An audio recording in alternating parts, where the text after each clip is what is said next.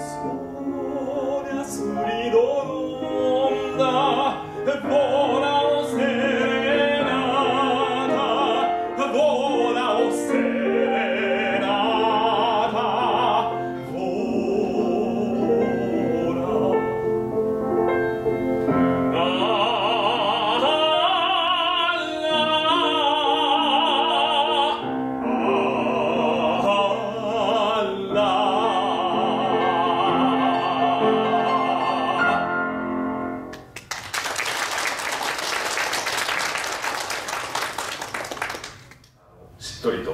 えー、窓辺で、えー、切々と歌い上げるドイツ人が、えー、それとももう最初から情熱的に、えー、家の人が出てきて「お前なんだ!」って言われててもお構いなしに愛を歌い上げるイタリア人どっちのアプローチがお好きでしょうか？はい、えー、本当にあのちょっとこうアルプスのね山を一つ越えただけでこんなに違うっていうのはなかなか面白いものだなというふうに思いますでは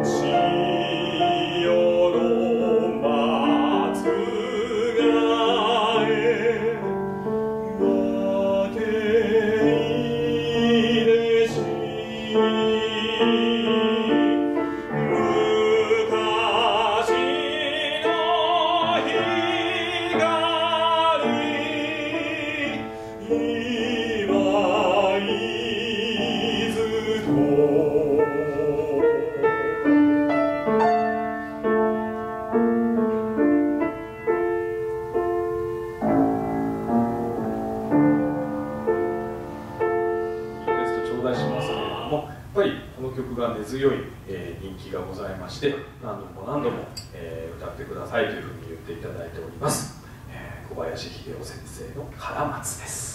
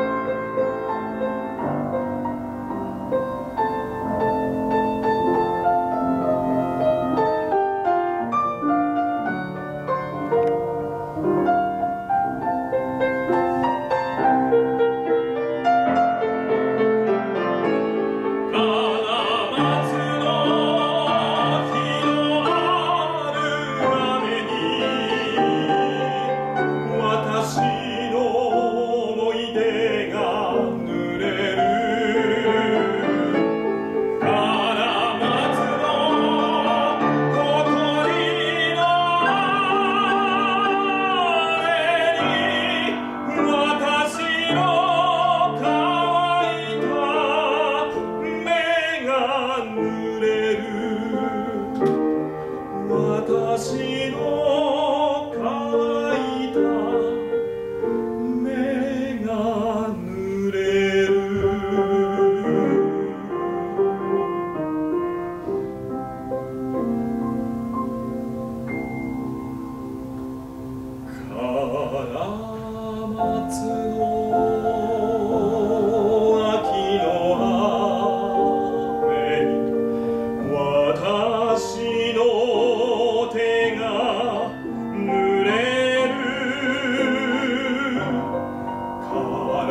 の。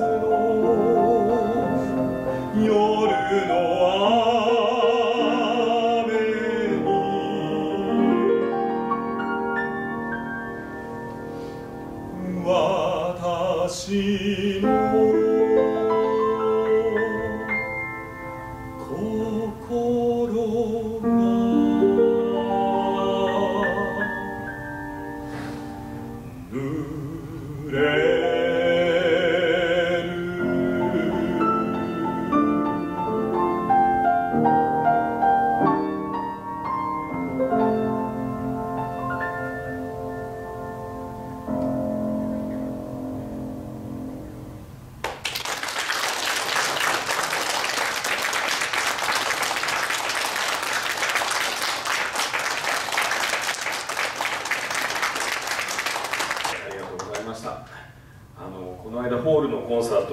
演してうん、やっぱりなんか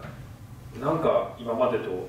違うなって思ったことがいくつかあったんですけれども、えー、ふっとこうステージに立ってスポット入ってふっとこう客席を見た時にですね、えー、あの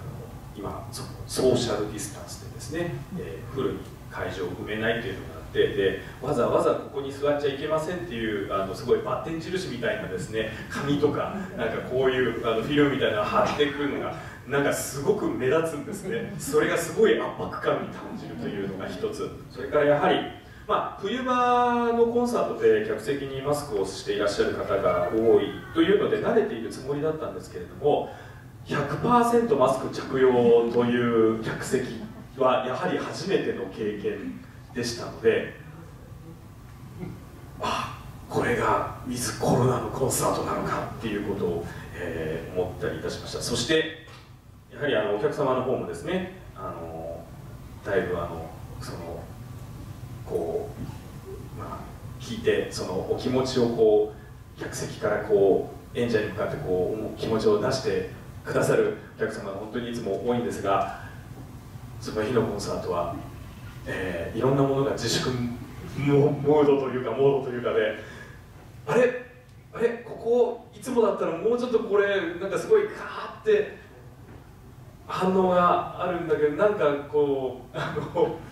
客席との間になんか透明のフィルムが降りてるみたいなそんなちょっと感覚がありました多分演者の我々もそう感じるんでしょうけどそれ以上に客席のお客様もどうやってそれをこう示していいのかっていうのを皆さん思ってらっしゃると思うんですね。